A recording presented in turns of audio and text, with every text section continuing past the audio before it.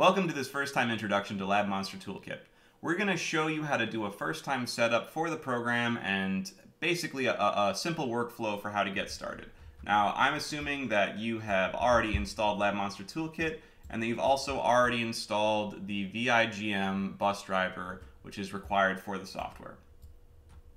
So, first thing you want to do is unplug all gamepad input devices, any controllers, any controller adapters, Mayflash adapters, etc. You should see no controllers in your device manager. You can pull up the device manager by searching for it here. If there are no controllers in the device manager, then you should, can go ahead and open Lab Monster Toolkit. Uh, it is searchable in your in your search bar here, or you can find it in the program files. When LabMonster Toolkit boots up, there's a terminal window here. It's in beta still, so this is basically to show you any errors or messages that may occur. If any text appears in this terminal on boot up, the boot up has probably failed. And so you should close the program and try opening it again. Sometimes, rarely, but sometimes the ViGEm client uh, fails to load and you get a, the program has uh, failed, has closed successfully or has ended successfully. You'll get a message like that in here. Uh, the toolkit won't function if that happens. So uh, right now we've got a boot that has no text in it, so we're good to go.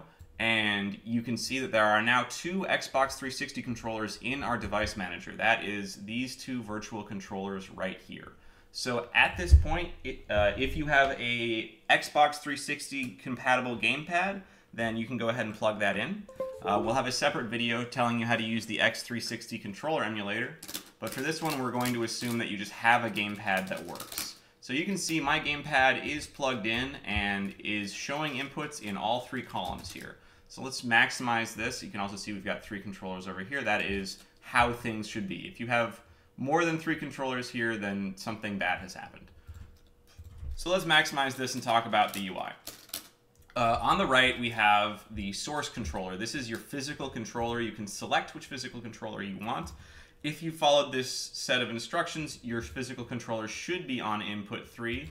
If it is not, you can try the other inputs and see if it's on a different input.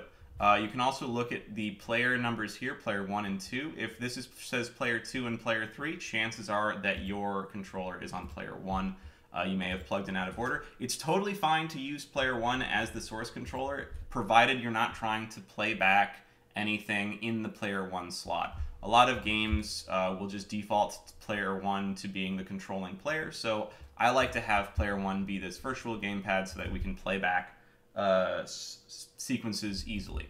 Now, uh, these two virtual controller gamepads are, we call them VPads, virtual, virtual gamepads. Uh, they are sort of where all of the control for the game comes from. They've got four different modes. There's mirror master input, which is what we are doing right now. There's playback sequence, which we're going to cover in another video. There's UI input, which allows you to click on this UI up here and just uh, have the inputs be whatever the UI is uh, clicked to. And there's disable, which just sets it to neutral and doesn't do anything. So we're going to cover these three uh, Mirror Master UI input and disable in this video. And let's get the actual toolkit hooked up to a game. So we're going to go ahead and boot Marvel 3. So let's boot it up.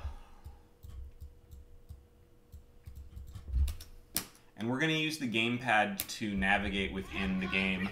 If you have a uh, keyboard and mouse setup and you try navigating with your keyboard and mouse, uh, it's not going to go well. Uh, many games will, especially Guilty Gear, but other, I've had I've had issues with games where you use your game your keyboard and mouse to navigate within the menus, and it just screws up which controller it thinks you're supposed to be using. So the first thing we're going to do is get to training mode, since that's where you should be using this software. That's where that's the only place this software has been tested for any of these games. I, I don't play this game very well, so you'll have to forgive me for uh, just selecting random characters here.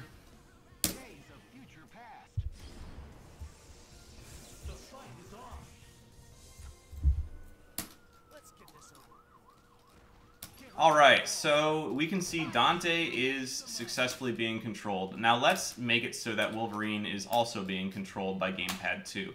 So we're going to go into the menu here, change this to be player 2 controlled, and when we hit back, it's going to ask us to press start on player 2's controller. Now this is a very key and important moment because it's easy to screw this up. What you want to do is go into the toolkit, go to UI input, and click the start button in the UI. And then you can go back to mirror master input. If you press start with your controller 3, it's kind of random which of these two controllers it decides to use because two controllers are basically hitting start on the same frame simultaneously. So now you can see Wolverine is being controlled by the same input as Dante. Exactly what we want. So I'm going to go ahead and disable uh, Dante here, or uh, the secondary input. So now we're just controlling Dante and Wolverine is just chilling. And now I'm going to show you how to hook up the frame-based input. Basically this entire timing uh, window at the top. If we're in timer-based mode, which is what this, uh, this is currently defaulting in, uh, the toolkit uses high precision timers to make a best guess estimate as to when you're pressing buttons and how those buttons should be played back. It's pretty good, it's not perfect. So there's a better mode to use, which is frame-based. So what we're gonna do is we're gonna open up the task manager with Control-Alt-Escape, and we're gonna go to Details. And we're going to find the uh, Marvel vs. Capcom, Ultimate Marvel vs. Capcom Infinite process. Sorry, Infinite. I play Infinite more than three. Uh, UMVC3. This is what we're looking for.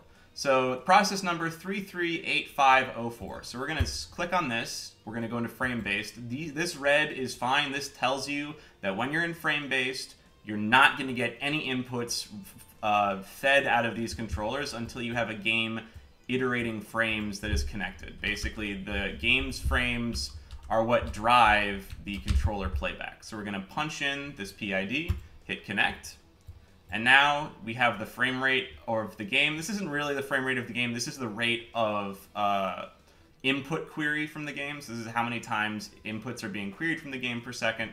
And now we can see we're back in the game and inputs are working. If we go back to mirror master input on uh, Wolverine, he's also moving back and forth. And now the other thing we can see is this game time speed is working. So I can set the game to 3 fourths speed, I can set the game to run at 1 half speed, I can set the game to run at 1 quarter speed, and let's go back to full speed, I can pause the game.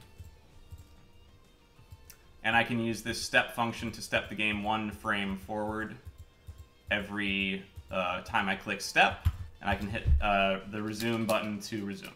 So that's all we're going to cover in this video, just a short setup for the game in Marvel 3. In the next video, we will cover sequences and how to play them back and record them, and how that whole, uh, how that whole system works. Thank you for watching.